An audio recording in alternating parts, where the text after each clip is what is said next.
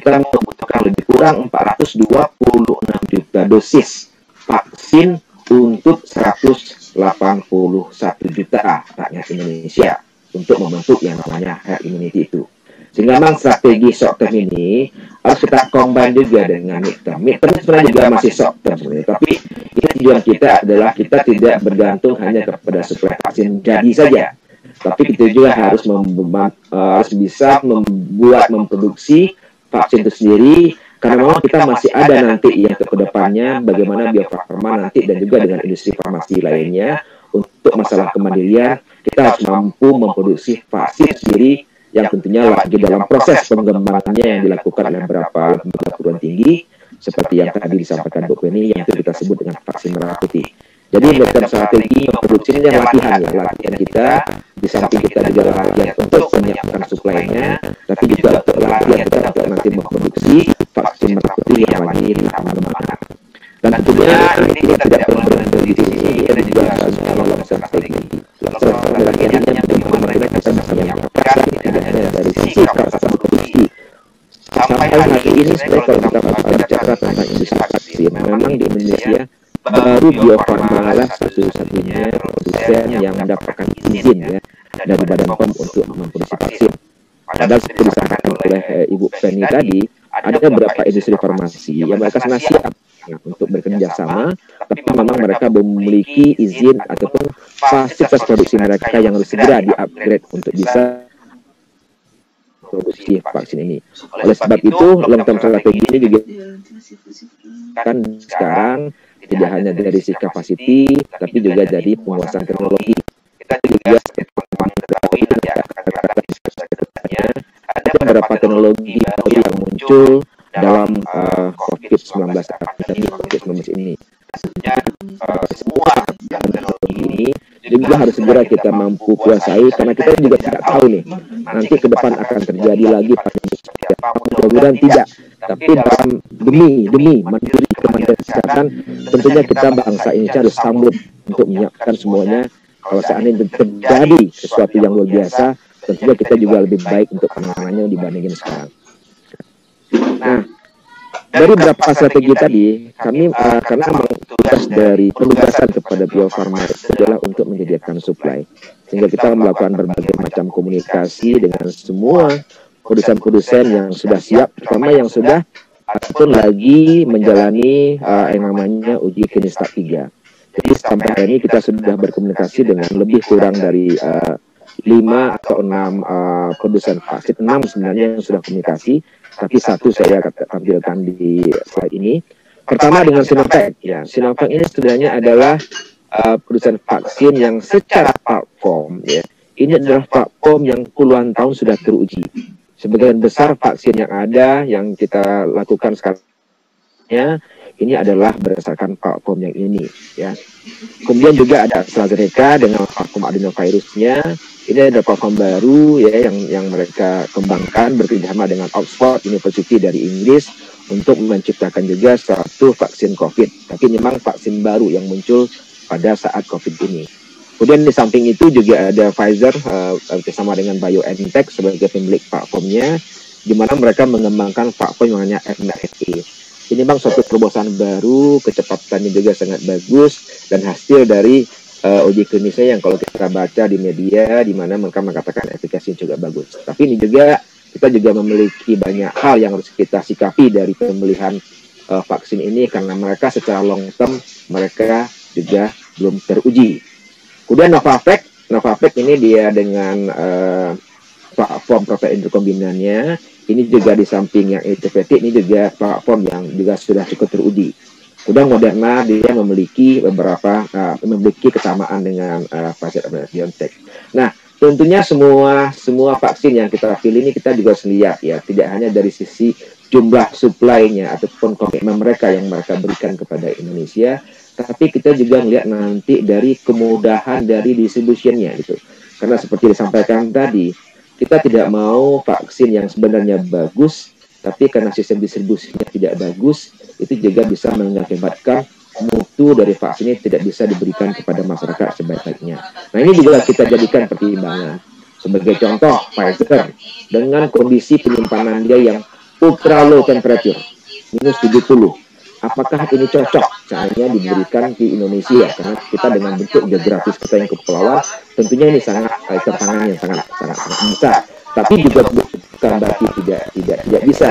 Kita bisa melakukan semacam prioritas mungkin bahwa untuk vaksin tertentu dengan kondisi isu itu mungkin hanya bisa disebutkan ke kota besar, sementara vaksin vaksin yang lain-lain mungkin dengan kondisi di di negara Amerika mungkin kita bisa sertakan dengan bangsa yang lain. Jadi semua informasi ini memang kita kita pertimbangkan dengan baik ya kita juga berdiskusi kita semua komunitas pakar biologi epidemiologi kita juga komunikasi dengan ITAGI kita juga uh, komunikasi dengan Komnas komunikasi dengan Kemenkes komunikasi dengan semua stakeholder yang relevan dan bertanggung jawab dalam penanganan pandemi ini kita lakukan komunikasi sehingga nantinya kita bisa memberikan semacam uh, kepastian terhadap suplai vaksin yang uh, bisa digunakan di Indonesia. Nah dari semua vaksin yang ada itu juga kita juga memiliki uh, persyaratan ya dari dari Kemenkes juga bahwa semua vaksin yang akan masuk di Indonesia itu mereka sudah memiliki yang namanya EUA. Jadi nantinya tentu uh, adalah tugas dari Badan POM nanti yang akan memberikan keputusan apakah vaksin ini layak untuk diberikan di Indonesia. Nah, di samping itu juga ada satu isu lain di Indonesia kalau kita bicara vaksin, yaitu masalah kehalalan ya. Karena memang ini juga kita punya pengalaman sangat berharga di tahun 2018 ketika ada uh, kejadian luar biasa terhadap uh, rubella, itu juga kita terlambat melakukan komunikasi dari sisi kehalalannya. Sehingga dari awal untuk vaksin ini, terutama vaksin yang nanti yang langsung diproduksi oleh Bio Farma, kita sudah memastikan kehalalannya karena memang sudah mendapatkan sertifikasi halal dari BPJPH dan juga dari MUI.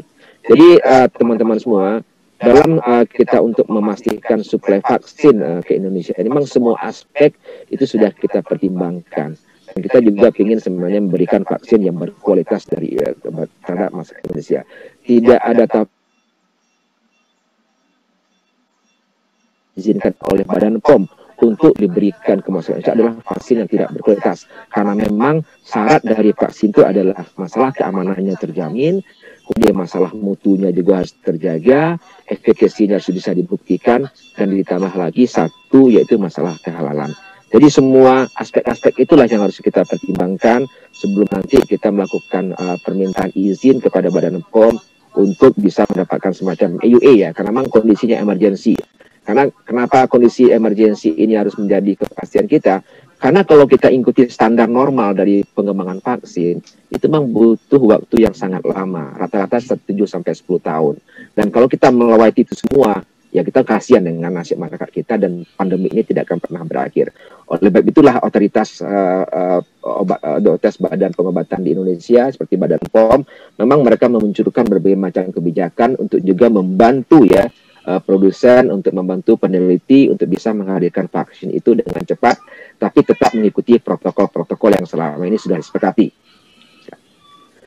Uh, dan terakhir mungkin uh, uh, tentang kesiapan kami sendiri. Jadi uh, karena memang seperti disampaikan di awal tadi kebutuhan kita terhadap jumlah dosis vaksin ini memang sangat besar dan kami juga sebenarnya sudah menyiapkan kapasitas yang yang lumayan besar juga di di Bio Farma, tapi tidak cukup besar untuk bisa mengcover uh, suplai vaksin terhadap seluruh Indonesia masyarakat Indonesia. Sehingga memang strategi yang jangka pendek tadi di mana kita melakukan importasi terhadap vaksin jadi itu juga satu hal masih kita butuhkan. Tapi bicara tentang kesiapan, sebenarnya kami di Bio Farma sudah menyiapkan kapasitas produksi itu sebesar 250 juta dosis per tahun dan kami menyiapkan dua fasilitas produksi di Pasteur. Ini teman-teman ITB pasti tahu semua lokasinya. Ada satu bangun, bangunan heritage di pinggir jalan Faktur dan di jalan Pasteur di belakangnya itu ada dua fasilitas produksi yang kita dedikasikan nanti untuk produksi vaksin COVID ini dengan total kapasiti 250 juta dosis per tahun. Satu fasilitas produksi bisa dilihat di slide ini yang gedung nomor 21 namanya. Ini alhamdulillah terima kasih kepada Badan POM. Tanggal 30 Desember kemarin kami sudah mendapatkan sertifikasi GMP-nya gedung sesuai ini. Sehingga kita sudah mendapatkan buku sebagai teman-teman kami ada semuanya kesehatan 15 juta dosis dan itu segera kita produksi di gedung nomor 21 ini. Kapasitas untuk gedung satu ini adalah sebesar 100 juta dosis per tahun. Dan kita juga lagi dalam proses untuk sertifikasi di gedung satu lagi, gedung 43 ini untuk 150 juta dosis per tahun. Jadi insya Allah nanti di sekitar bulan Maret kita sudah memiliki dua fasilitas produksi untuk bisa memproduksi 250 juta dosis. Nah, bagaimana tentang bahan bakunya sendiri? Bahan bakunya kita sudah mengamankan sekitar lebih dari 140 juta dosis bahan baku yang nanti regularly kita akan segera produksi di Bio Farma untuk bisa menghasilkan 122,5 juta dosis. Artinya kalau kita mau bicara tentang pengamanan jumlah dosis yang 426 juta dosis tadi, sekitar 122,5 juta dosis itu akan diproduksi di Bio Farma. Sisanya nanti kita akan lakukan importasi vaksin jadi dari beberapa vaksin yang tadi sudah saya sampaikan di awal. Terakhir, uh, rekan-rekan semua, ini bicara tentang jangka panjang ya kita tahu bahwa masalah uh, uh, penyakit ya epidemiologi apa uh, epidemi pandemi ini kita tidak tahu kapan akan terjadi, tapi sebagai suatu industri BUMN kami juga ingin sebenarnya untuk berkontribusi bagaimana kita bisa melakukan persiapan secara jangka panjang untuk ya kita bisa tidak hanya dari sisi capacity building tapi juga dari sisi uh, penguasaan teknologi. Beberapa teknologi baru yang berkembang selama pandemi ini menjadi suatu perhatian kita dan kita juga sudah mem uh, membuat satu program ya yang yang yang yang segera akan kita diskusi mulai Januari ini di mana kita juga akan mulai mengembangkan uh, beberapa platform baru seperti adenovirus dan mRNA itu untuk jenis vaksin lainnya tidak hanya untuk uh, COVID-19 tapi juga kita siapkan nanti untuk jenis-jenis vaksin yang disiapkan kalau terjadinya kejadian luar biasa ataupun ada epidemik virus lagi. Kami mohon dukungan dari semua teman-teman. Saya tahu IITB ini banyak orang-orang yang sangat kompeten, banyak orang-orang yang ada ide brilian. Ini saatnya kita bersatu padu bersama untuk bisa membuktikan bahwa IITB ini memang bisa berkontribusi yang jauh lebih besar buat negara ini ada satu tagline yang saya sangat ingat nah, dari sekarang dari awal saya bergabung di TB in harmonia progressio. Tentunya inilah sama-sama yang kita buktikan kepada masyarakat bahwa memang kontribusi dari IITB ini memang sangat tinggi tidak hanya buat ITB tapi juga buat negara Indonesia. Demikian yang bisa saya sampaikan DLV Mbak ya. Dina uh, pemaparan saya. Terima kasih atas kesempatannya. Cepat dalam menghasilkan segala sesuatu itu ya honesty banyak sekali. Terima kasih. Dan ini banyak sekali pertanyaan-pertanyaan yang juga sudah masuk. Uh, namun intinya kita juga tahu bahwa ternyata kita hanya bisa mengadakan 120 daripada kebutuhan 420 ya. Jadi kalau seandainya memang uh, harus selesai satu tahun sesuai arahan Pak Presiden berarti 300 harus kita import ya ya, ya. import jadi ya ini satu pertanyaan yang banyak sekali Dina mungkin sudah terkumpul pertanyaan atau kita tanya dulu apakah Pak Menteri sudah bisa terhubung dari Mamuju? Mas Gila. Mas Gila, update terakhir sih 10.16 tadi masih di pesawat. Masih di pesawat ya? Oke. Okay. Iya. Ya, Pak Honesti dan Bu Penny, kita mulai aja ya dengan beberapa pertanyaan yang tertuju ke Ibu dan Bapak berdua ini. Banyak sekali pertanyaan, terutama tadi ya mungkin kalau caranya di medsos kita melihat uh, kenapa uh, melakukan kualitas daripada uh, Sinovac ini sementara beberapa nakes dan tenaga di sini.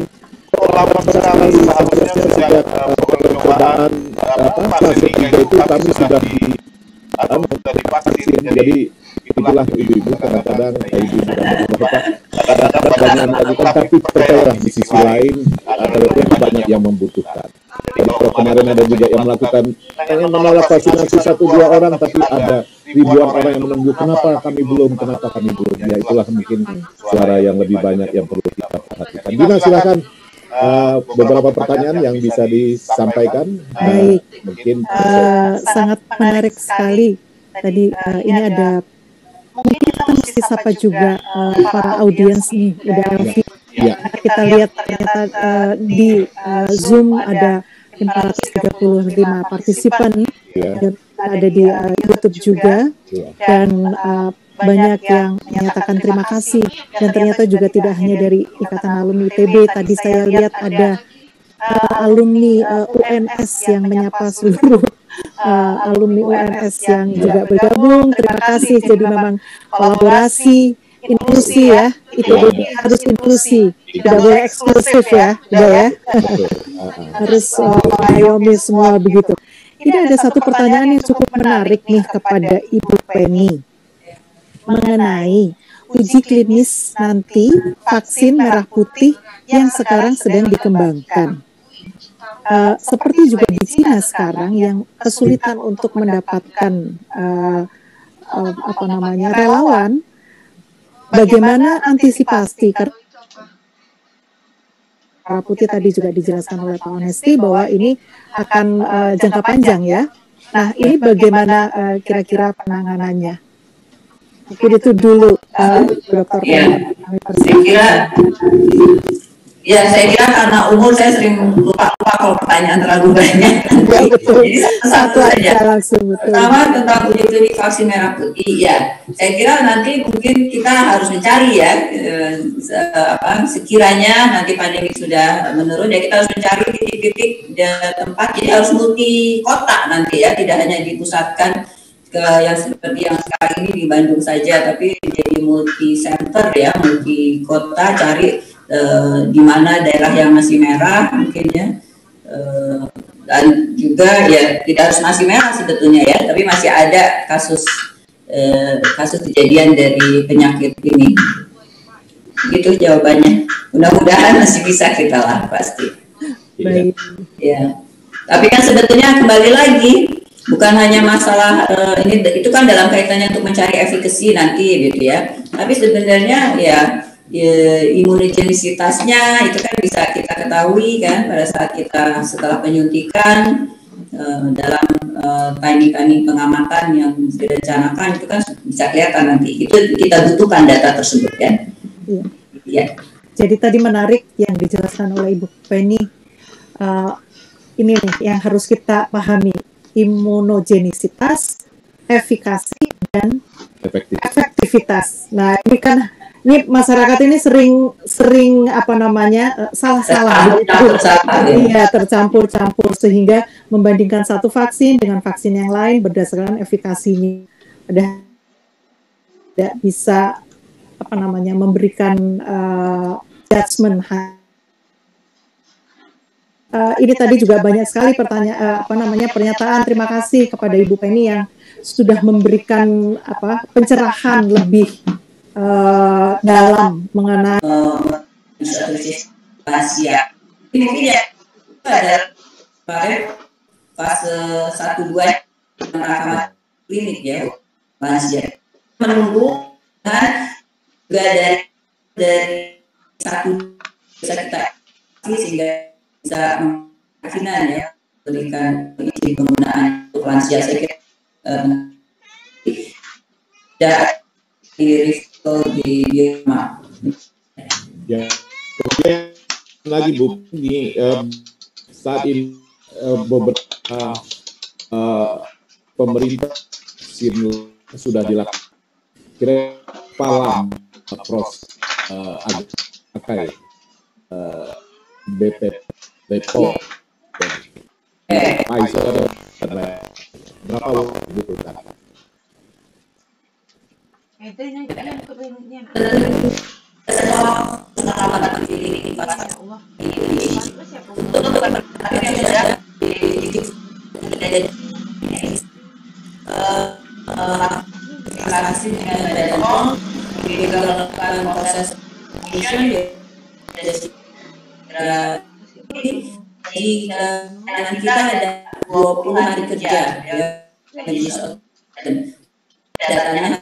ya.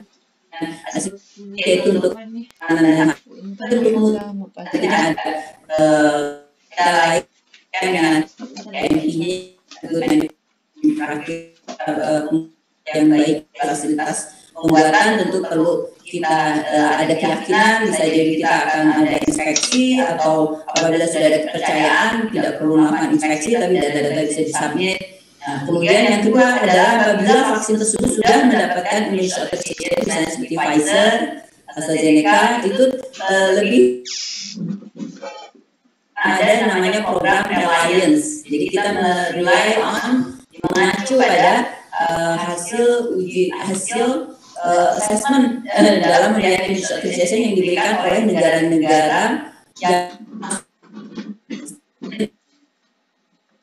Badan POM ya sudah melalui assessment dari WHO uh, dan umumnya itu adalah ada lima negara kami sekarang relanya sebagai lima negara sehingga ada percepatan uh, adalah negara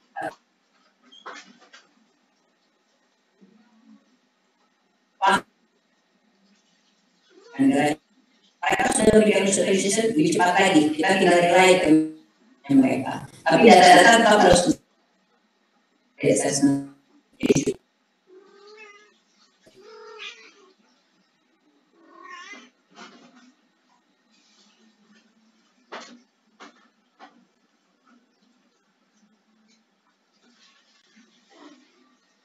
dan khasiat itu saja gitu ya.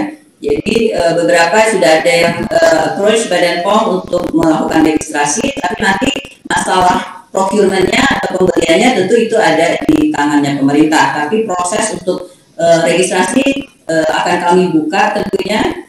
E, jadi AstraZeneca sudah ada e, proses dengan pemerintah dan akan digelar pemerintah sudah melakukan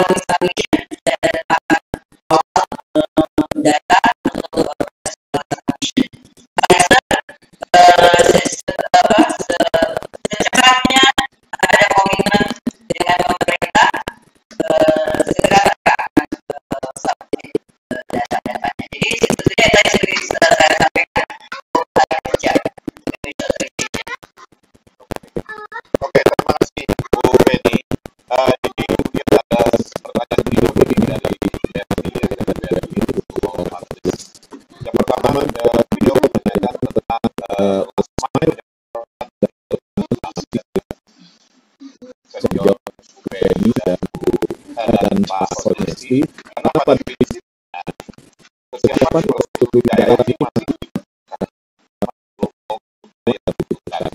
bagaimana kesiapan misalnya bagaimana kesiapan di puskesmas untuk menyimpan barang ini agar tidak rusak mungkin dan lain-lain. Nah mungkin Pak Honesti bisa menjawab dari sisi lainnya dan tentunya juga UPI mengawasi ya ikut mengawasi silakan mungkin Pak Honesti dulu atau ya Ya, makasih Dori. Jadi memang masalah distribusi ini adalah masalah yang sangat kritikal ya?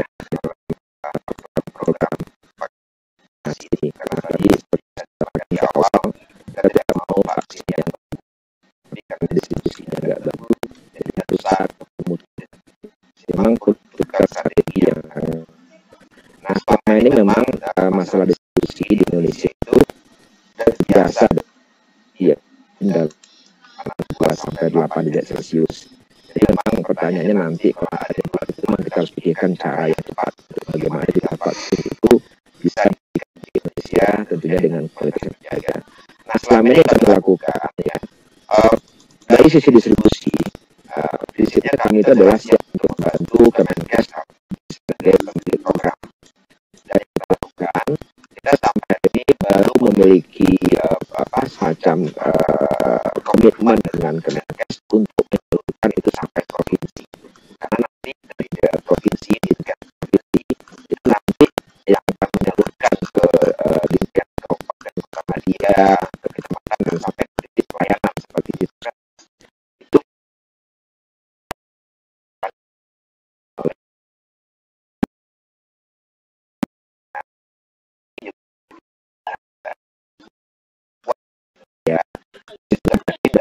swasta mereka memiliki kemampuan yang sama kita siap support lah. Kontaknya teman dari IPS memang mereka butuh membantukan terutama dari kapasitas storage nah ini kan yang pertanyaan yang paling yang paling uh, banyak sekarang dengan kami. Bagaimana kesiapan kapasitas storage yang ada di daerah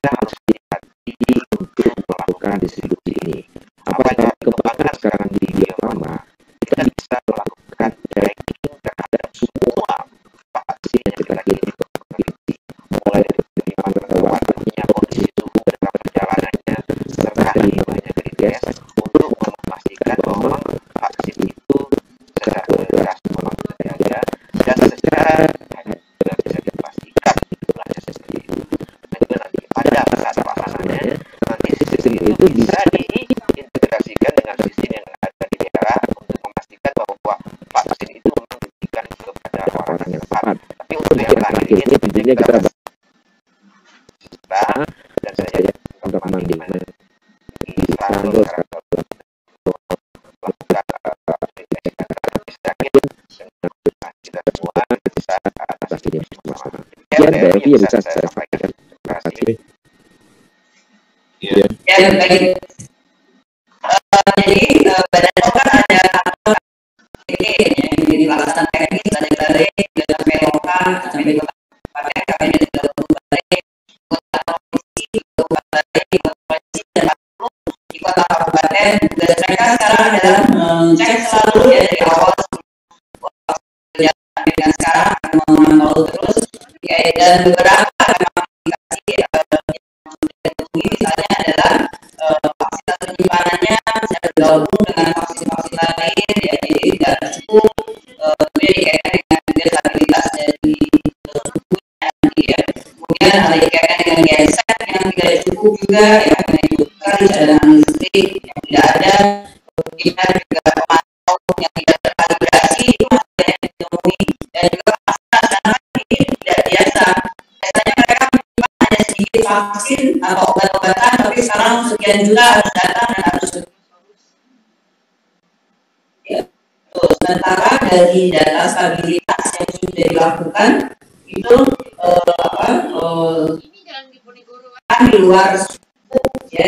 Data stabilitas dari vaksin yang ada sekarang ini ini menunjukkan bahwa untuk apabila keluar dari 2 sampai 8 degree Celcius dan terpapar suhu 25 degree Celcius itu bertahannya sekitar 28 hari. Kalau, kalau lebih panas lagi cepat lagi 20 hari. Kalau misalnya terpapar di luar sampai 37 degree Celcius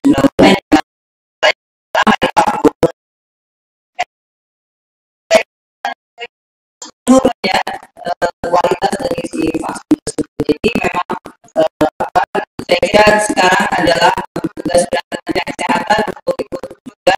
Saya kira akan bekerjasama dengan banyak pihak.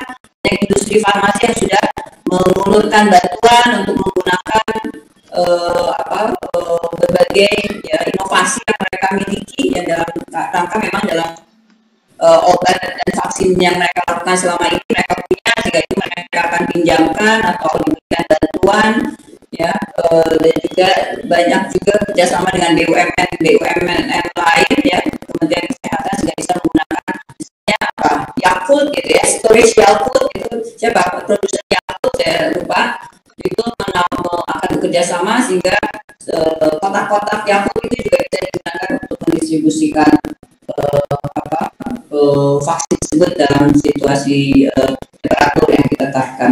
Saya kira demikian.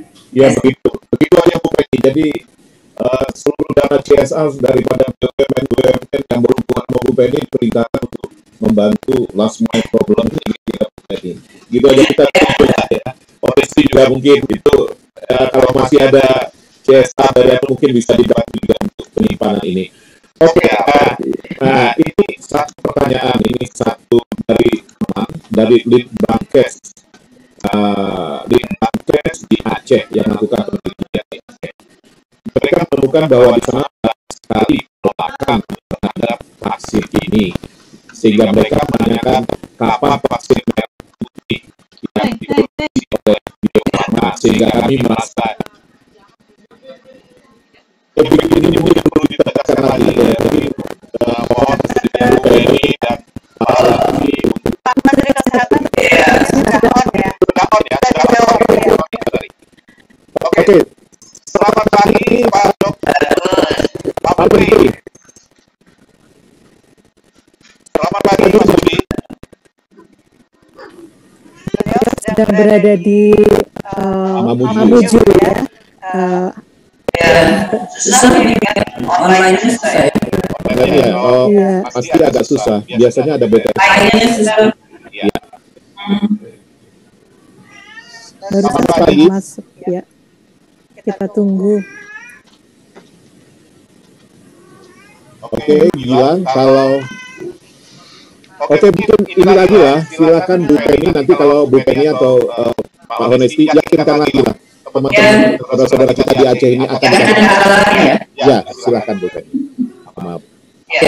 Sebetulnya hal ini kalau halal kan dikaitkan dengan aspek mutu ya yang tidak mengandung porcine ya, DNA dari babi. Ya. Nah dari aspek mutu, Badan POM sudah mendapatkan bahwa memang tidak mengandung dalam pros, dalam bahan baku, dalam proses produksinya juga tidak uh, mengandung dan tidak bersinggungan dengan uh, apa, DNA porcine ya, DNA dari babi. Ya, itu sebenarnya itu sudah ya sudah tidak mengandung. Nah, tapi sertifikat halal dan proses-proses audit tentunya sudah dilakukan dengan sangat intensif oleh pihak MUI ya sejak dari mulai awal pada saat kita inspeksi ke produksi uh, fasilitas produksinya di Cina itu bersama-sama Badan POM uh, memeriksa cara produksi uh, cara pembuatan obat yang baik untuk fasilitasnya, untuk bahan bakunya, untuk proses produksinya, untuk produknya juga kemudian. Dan itu aspek mutu sudah baik ya terjamin baik memenuhi cara produksi obat yang baik. Jadi artinya adalah dari aspek apa kan ada halal, ada apa satunya lagi? Koib ya untuk koibnya sudah oke. Okay. Nah dalam koib itu juga aspek mutu ada. Nah mutunya itu adalah ya tadi tidak mengandung uh, DNA porcine, DNA dari babi dalam atau proses produksi. Nah pihak dari uh, MUI melakukan audit juga. Ya audit halal. Tentunya ada tata caranya sendiri ya dikaitkan dengan audit halal. Itu sudah uh, jelas ya mereka juga melakukan uh, fatwa uh, yang tentunya prosesnya sangat uh, intensif sekali. Dan saya ini sudah tidak ada ragu lagi dikaitkan dengan aspek kehalalan dan kesuciannya. Tidak perlu lagi di, di, di, di permasalahan lagi yang dengan keyakinan Oke. Okay. Untuk vaksin Sinovac ya, nanti untuk vaksin lainnya ada proses yang sama juga. Oke. Okay. Cek lagi. Ya mungkin uh, ini Bu Yu tadi baru meluruskan bahwa yang ditanyakan ke, ke apa ke uh, Pak Honesti MR MR jadi vaksin MR rubella uh, yang mungkin tadi seperti Bu Penny bilang ada uh, permasalahan. Mungkin uh, dijawab sedikit Pak Honesti Bu Yun ini tentang apa kira-kira uh,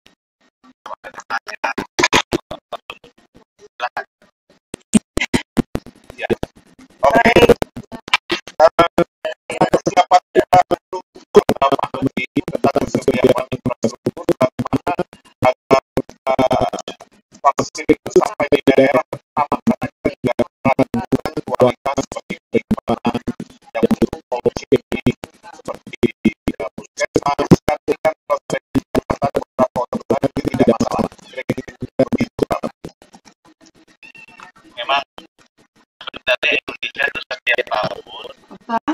melakukan pengendalian Iya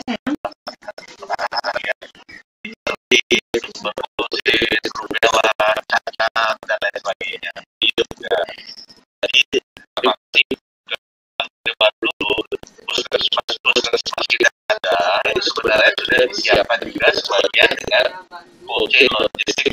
lumayan bisa menghandle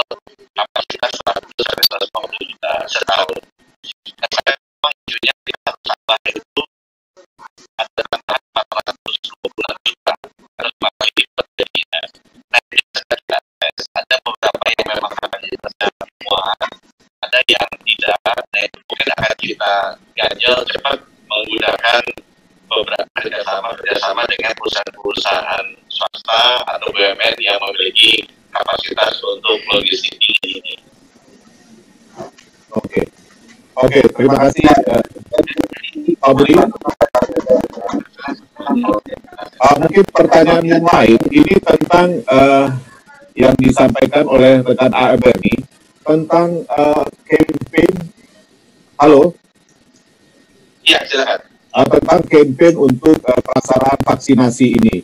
Uh, untuk mencegah penolakan ini ataupun campaign ini, uh, bagaimana adakah upaya dari Depkes untuk melibatkan para penyintas?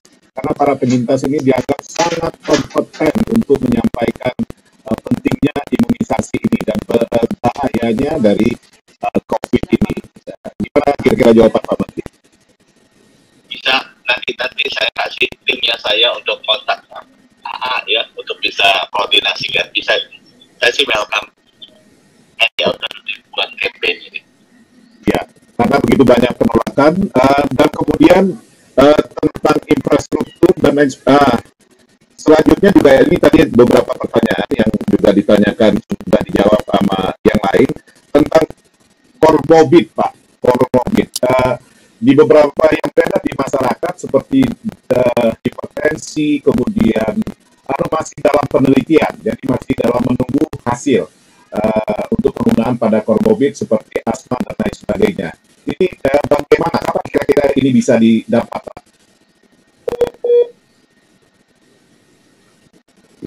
reconnecting. Oke, oke, oke Dina mungkin uh, ada pertanyaan lain dan Iya, tadi sebenarnya ada yang menanyakan mengenai keluarga dari garda terdepan. Ini keluarga nakes. Nah, ini dia. Baik. Uh, Pak Menteri, selamat uh, pagi. Ini ada yang menanyakan mengenai keluarga dari nakes, keluarga dari garda terdepan, apakah tidak uh, sebaiknya juga diberikan vaksinasi? Nih, ini prioritas vaksinasi ini dasarnya adalah isu risiko ya. Jadi kenapa dikasih di luar?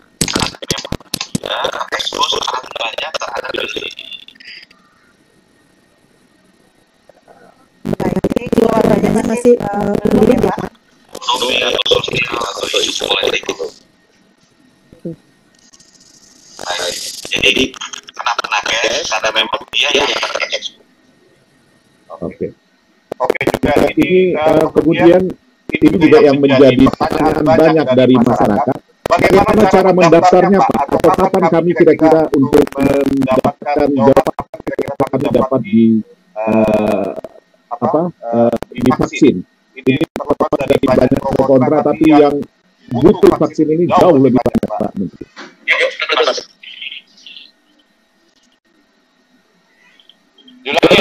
lagi. Ya, prosedurnya kira-kira Pak, agar kita daftar sebagai anu vaksin atau kapan kita giliran? Katakanlah giliran Pak Ridwan itu kapan?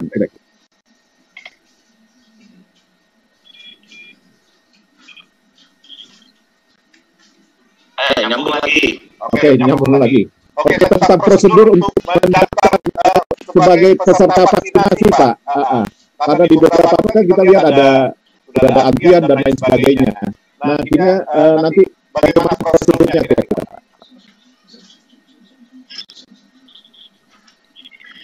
Pak? Nanti saya WA kembali Memang sekarang untuk nakes aplikasinya masih ada yang perlu disempurnakan peduli. Jadi kita gunakan berbagai macam cara, bisa lewat SMS, awal-awal gadang bisa lewat FB, bisa lewat WhatsApp, bisa juga lewat web. Ya, jadi yang paling bagus sekarang tolong diarahkan bisa aplikasinya lewat web atau lewat chatbot WA. Nanti aku kirim itu ke Bang Ridwan. Bang Ridwan bisa bisa forward itu ke teman-teman. Ya, ini khusus untuk tenaga kerja sosial dulu, eh, tenaga kerja kesehatan. Oke, uh, kemudian Jadi belum ada rencana untuk bagaimana bagaimana pendataan untuk yang masyarakat ya Pak ya. Karena ini banyak yang menanyakan juga yang masyarakat bukan yang nanti mungkin gelombang kedua ya. Bisa nanti di belakang sesudah nakes, tenaga sesudah uh, health workers, kemudian public workers, baru kemudian nanti masyarakat. Jadi sabar aja. Iya, saking antusiasnya ini Pak, banyak yang banyak yang pengen begitu di launch ada vaksinasi pertama itu antusiasnya sangat besar sekali sehingga uh, masuk kepada implementasinya seperti apa baik kalau begitu uh, berarti nakes ya. Mungkin Bapak uh, Budi, uh, Bapak Budi silahkan apa yang ingin disampaikan pada kita memang waktu yang terbatas, apa yang ingin disampaikan kepada kami kami uh, untuk uh, ini diadakan memang untuk mendukung mendukung uh, uh, kontribusi uh, alumni maupun uh, umum mendukung uh, Kementerian Kesehatan untuk uh, menjalankan tugasnya dan uh, silahkan Pak. Jadi pertama saya mesti mohon maaf bahwa ini tidak sempurna ya, karena semuanya dalam waktu singkat saya juga baru kerja ini belum ini minggu ketiga saya kerja dan sudah harus uh, jalankan vaksinasi ini, saya lihat memang tidak sempurna. Jadi mohon pengertian teman-teman. Kalau ada kekurangan, kami janji akan cepat perbaiki. Ada banyak alumni ITB yang terlibat. Itu ada Fajri, direkturnya Telkom, ada Soleh Ayubi, itu direkturnya Bio Farma, mereka yang itu kepala si Soleh PhD yang sudah 15 tahun dari Amerika. Nah, umur usianya 30-an tahun, saya minta mereka kerja keras. Jadi tolong uh, ekspektasinya kalau ada kekurangan tahu. Tapi saya akui di depan emang ini tidak sempurna. Karena berbicara dengan waktu ya. Jadi tolong sabar. Dikasih tahu aja nanti kita perbaiki. Yang kedua, uh, ini kalau ada komunikasi yang perlu dijelaskan, jangan kasih tahu kita. Ya, karena memang vaksinnya terbatas, pasti akan cukup tahun. Tapi yang pertama jadi akan kita lakukan secara bertahap. Jadi kalau diminta teman-teman yang mau vaksin sabar menunggu gilirannya ini pasti akan kita vaksinasi karena memang kita ada secure jumlahnya cukup yang ketiga untuk teman-teman yang mungkin masih ragu atau saudara-saudara yang ragu divaksinasi tolong saya, saya pribadi bukan orang yang untuk memaksa ya dengan segala macam ancaman cuma dipahami vaksinasi ini bukan tujuannya sangat sosial ya, bukan individu. Vaksinasi ini bukan hanya untuk melindungi diri kita. Banyak orang menyangka bahwa vaksin ini diberikan untuk melindungi diri kita. Bukan. Vaksin ini diberikan untuk mengejar herd immunity agar pandeminya bisa dieradikasi atau penyebarannya bisa dihentikan. Oleh karena itu, saya vaksin ini bukan untuk hanya memproteksi diri kita, vaksin ini juga diarahkan untuk memproteksi anak-anak kita, tetangga kita. Oh itu ada jembatan ya. Kalau ada orang yang tidak vaksinasi sehingga tidak tercapai herd immunity, seluruh komunitas tidak akan bisa mengeradikasi pandemi ini. Ya misalnya satu negara Amerika divaksinasi, tapi negara lain Bangladesh tidak misalnya. Ya aneh orang Amerika yang akan jalan-jalan ke luar negeri Tapi begitu dia buka sehingga ada perputaran manusia yang menuju mana negara ini, penularannya tetap mesti akan terjadi. Jadi ini benar-benar makna sosialnya lebih jauh lebih penting dan lebih besar daripada makna. Individu. Vaksinasi ini adalah program yang didesain untuk mencapai kekebalan bersama bukan untuk individu karena nggak ada gunanya juga kalau individu definisi kekebalan itu tidak akan tercapai. Herd immunity itu tidak akan tercapai. Dan vaksin eh, pandeminya tidak akan selesai. Itu sih yang saya ingin sampaikan ke teman-teman yang mungkin masih ragu. Oh, ini saatnya kita untuk berkontribusi untuk sesama manusia. Ini bukan hanya untuk diri kita. Itu teman-teman. Oke, satu terakhir mungkin Mas uh, Budi, ini juga dari Kadin kebetulan, dari Mas Fauzi Imron, uh, Kadin Indonesia, menanyakan bagaimana rencana untuk bisanya grup ya, grup atau company uh, bisa melakukan uh, ini apa vaksinasi mandiri. Mungkin uh, belum update ini uh, dari pemberitaan yang sempat uh, apa hot kemarin. Silakan Pak Budi. Ya. Wacana itu wacana itu sudah dibicarakan. Kita juga mendengar mendengarkan ya buat saya selama program vaksinasi ini bisa dilakukan secepat-cepatnya seluas-luasnya semurah-murahnya prinsipnya saya oke. Okay. cuma yang perlu dijaga hati-hati adalah jangan sampai keluar narasi di publik bahwa yang kaya bisa dapat duluan. Yeah. kemudian vaksinasi ini di mafia bencanakan. Nah itu yang kita mesti sangat hati-hati. Nah sekarang sedang kita pikirkan caranya bagaimana? Dan dan hak itu sudah diberikan ya oleh negara ya. Jadi jangan sampai haknya masyarakat untuk mendapatkan vaksin gratis kemudian jadi menghilang atau didahulukan oleh yang lain. Jadi kita sedang bicarakan mekanismenya. Selama ketiga prinsip tadi tidak dilanggar artinya bahwa tidak ada narasi. Orang yang kaya bisa dapat duluan, tidak ada narasi bahwa uh, di pagi hari, siang hari, sore hari, bahkan malam hari ya. Kalau suasana pasar dapat berubah, ini juga mengurangi Oke, sepertinya ya sepertinya sudah tersampaikan ya apa yang disampaikan oleh Pak Menteri. Ya. Semoga bisa connecting lagi ya. Iya, bisa connecting ya. Saya hanya ingin menyampaikan mungkin yang dapat diucapkan oleh Bang Ridwan mungkin pesan dari AIPB dan Mas Budi Guru Belajar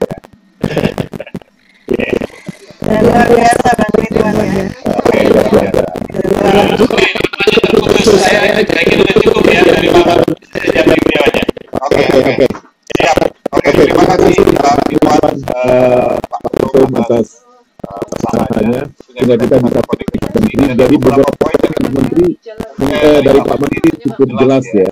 Yang pertama tentang uh, vaksinasi yang itu masih dalam pengkajian. Kemudian ini juga pengakuan dari Pak Menteri bahwa banyak hal yang harus diselesaikan dalam waktu singkat. Dan ini juga mengharapkan dukungan dari kita semua. Tidak saja alumni IPB dari dari semua yang hadir di sini untuk ikut uh, memikirkan apa yang disampaikan oleh Pak Menteri tadi.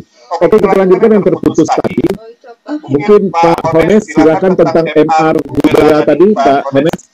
Ya, terima kasih dari jadi saya lanjutkan. Jadi memang di 2018 ada KLB rubella ya waktu itu. Ya, meskipun vaksinnya sudah ada, memang waktu itu kita ada ada proses komunikasi yang sedikit terlambat ya dengan MUI sehingga kita tidak bisa mendapatkan sertifikasi dari langsung.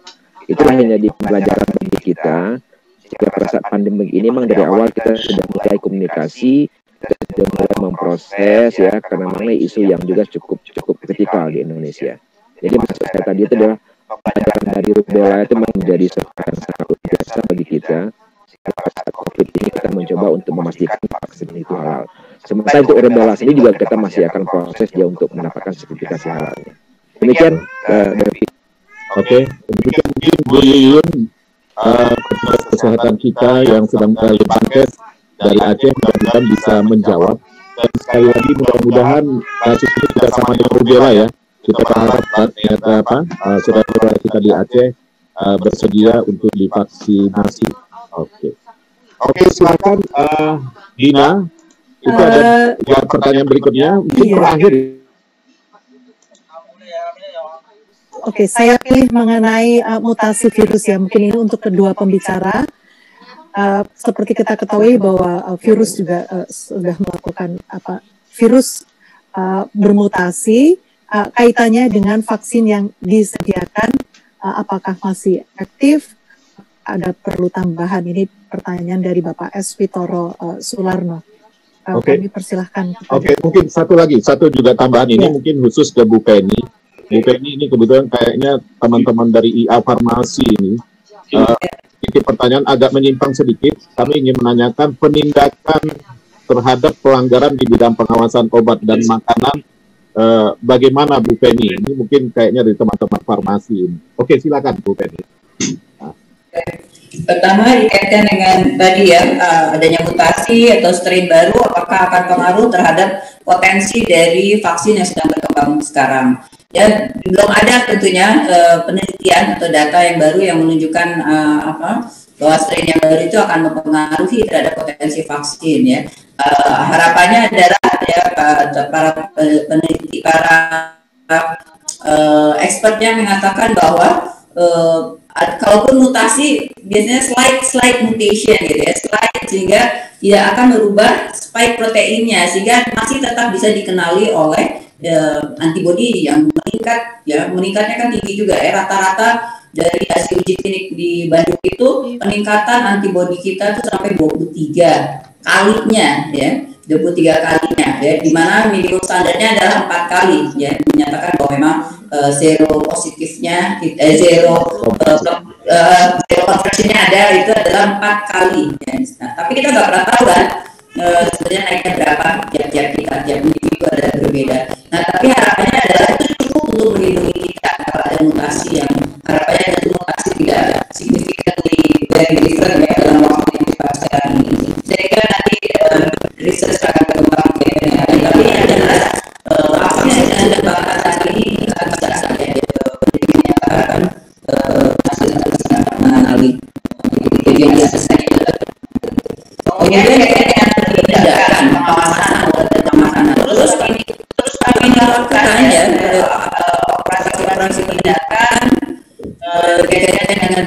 berbagai pelanggaran. Nah, kalau penindakan kami membedakan pengawasan dan penindakan. Kalau penindakan itu adalah upaya-upaya kejahatan. Ya, jadi dilakukan oleh jalur yang memang uh, bukan jalur formal. Kalau jalur formal adalah uh, industri obat dan makanan yang bisa jadi uh, apa dalam uh, apa proses produksi, distribusinya, kemudian produknya itu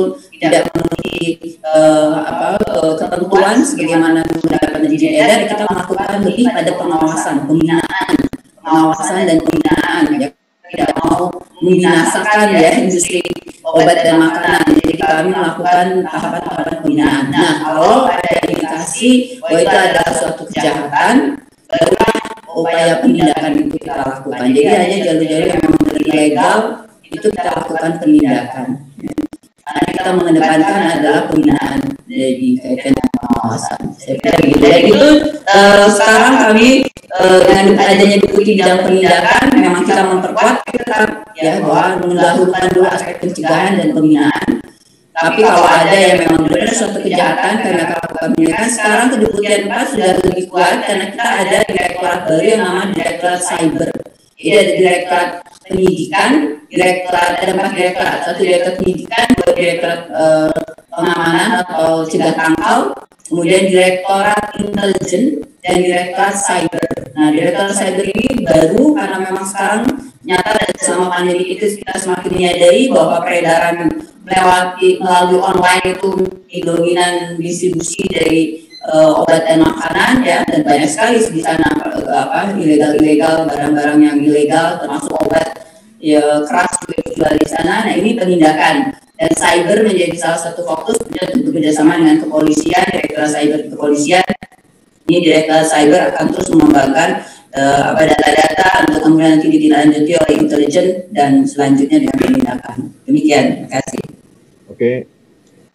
Pak Hones ya Terima kasih. Uh, jadi memang uh, hampir sama seperti yang disampaikan tadi Bu Penny. Jadi beberapa strain virus yang terjadi itu itu sepertinya belum belum melakukan belum belum terjadi pada spek protein ataupun yang bisa menyebabkan infeksius. Dan ada beberapa kajian awal sebenarnya yang kami coba baca dari beberapa partner kami. Jadi strain virus yang ada itu itu lebih hanya men-trigger kecepatan penularan tapi tidak um, dengan antibodi yang di, dimunculkan dari vaksin yang sudah dikembangkan itu itu masih cukup untuk menahan dari strain itu terjadi. Tapi tentunya ini masih akan kita amati terus ya tim-tim expert kami juga masih berdiskusi dan juga di beberapa partner kita mereka juga lagi melakukan penelitian apakah nanti uh, ke depan mutasi-mutasi dari strain virus tadi.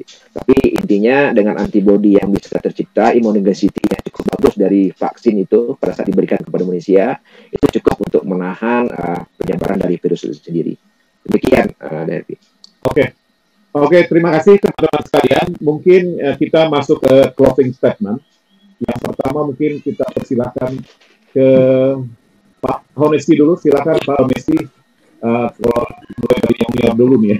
Oke, silakan Terima kasih. Uh, jadi pertama-tama terima kasih ya kepada IAITB yang sudah menyelenggarakan webinar ini. Ini tentunya suatu event yang sangat baik untuk sharing ya tentang progres dari penanganan COVID terutama masalah vaksin. Itu yang pertama. Yang kedua kami sangat terbuka ya terhadap semua masukan dari teman-teman semua.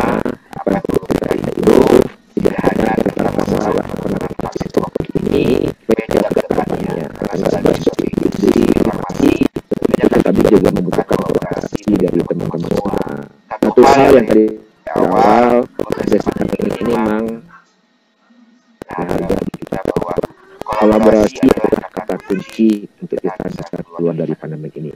Oleh sebab itu, ini mari kita tingkatkan kolaborasi kita antara ikatan alumni, dengan industri dan juga dengan stakeholder lainnya. Dan juga terakhir dari saya, vaksin ini adalah untuk masyarakat, bukan hanya untuk diri sendiri. Dan sampai vaksin itu diberikan, tetap jaga protokol kesehatan 3M. Demikian Delvi, Mbak Dita, Bu Penny, terima kasih. Oke, terima kasih uh, Pak Meski. Selanjutnya Ibu Penny, silakan Bu Penny. Ya, uh, uh, untuk posisi itu saya yang akan mengkritik dengan proses pembelajaran yang sudah kita bersama-sama lakukan uh, jalani di dalam masa pandemi ini semua sudah jadi transparan, semua terbuka, semua didiskusikan. Utamanya adalah dikaitkan dengan aspek kemandirian, aspek pengembangan industri farmasi, terutama untuk kemandirian kita dikaitkan dengan obat ya, dalam hal ini. Uh, uh, kiranya ini tadi sebagaimana sudah saya sampaikan membutuhkan keterbukaan kita untuk uh, selalu membuka diri untuk dialog dengan semua pihak berkoordinasi keluar dari sektoral ya aspek-aspek sektoral untuk melihat apa yang terbaik untuk bangsa ini. Terutama adalah juga kerjasama dalam pengembangan industri farmasi nyata kita masih membutuhkan banyak sekali kekuatan dalam pengembangan misalnya vaksin dalam hal ini ya. Jadi dibutuhkan dunia kerjasama yang dunia industri tentunya dan regulator dalam hal ini akan mendampingi merespon terhadap aspek-aspek uh, kebijakan yang yang mendukung. Regulator tidak hanya melindungi membatasi tapi juga untuk mendukung berbagai inovasi. Tentunya dunia pendidikan ada di depan saya kira untuk menyiapkan sumber daya manusia yang ada tidak hanya di uh, di dalam uh, penyiapan SDM sumber daya manusia dalam dunia pendidikannya ya pencapaian gelar dan sebagainya tapi juga sama dengan lembaga-lembaga penelitian dalam melakukan berbagai penelitian yang dibutuhkan. Ya tadi uh, tentunya ya lembaga penelitian yang juga bisa tadi mempunyai kalau untuk vaksin misalnya lembaga penelitian yang bisa mempunyai fasilitas produksi untuk clinical lot ya karena membutuhkan vaksin untuk uji klinik tentunya harus diproduksi yang dengan fasilitas yang memenuhi cara produksi yang baik gitu ya itu akan didampingi oleh Badan POM. Jadi betul-betul kita perlu secara intensif melakukan kerjasama betul-betul ketahanan kesehatan dalam hal ini kemandirian obat kita sangat dibutuhkan ke depan konversi saya bukan orang farmasi tapi dalam lima tahun ini saya mempelajari dan melihat potensi dari industri tapi kelihatannya betul-betul membutuhkan pendampingan fasilitasi dari pemerintah dan sebagai regulator aspek mutu jaminan pangan nasihat dan Kementerian Kesehatan dalam pendampingan untuk pengembangan industrinya untuk kebijakan-kebijakan yang lebih besarnya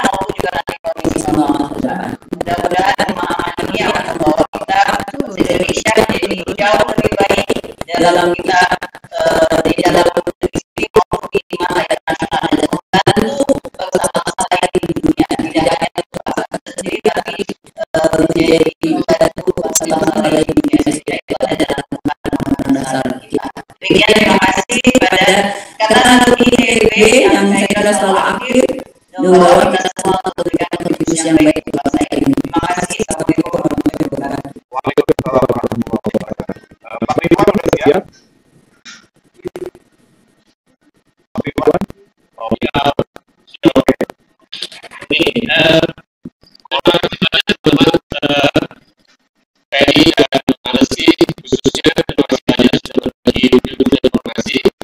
Uh, Pak Menkes bisa dikit tadi terputusnya dan alhamdulillah kita betul-betul harus bersyukur teknologi sudah uh, mengimbangi pandemi yang berlaku. Bayangkan kalau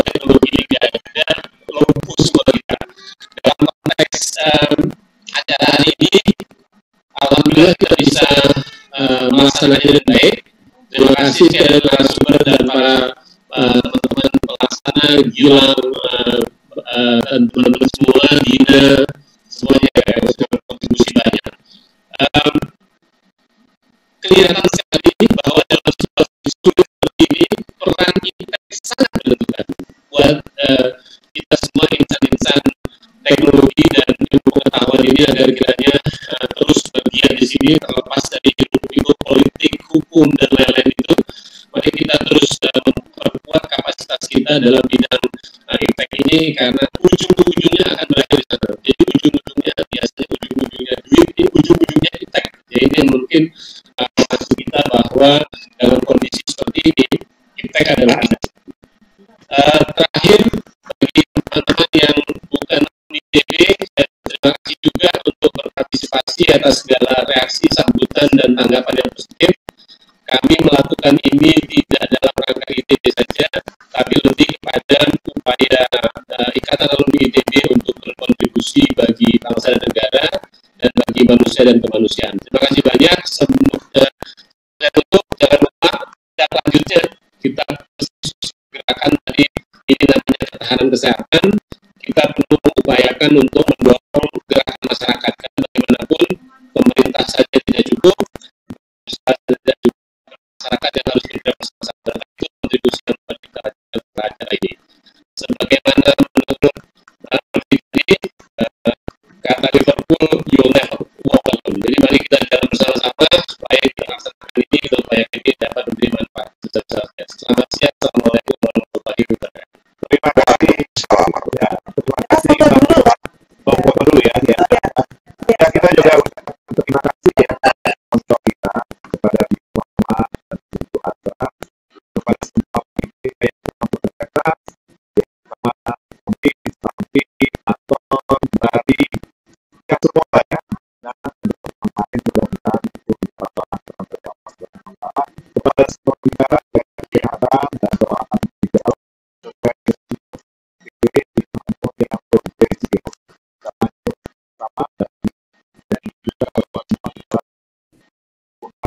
Obrigado.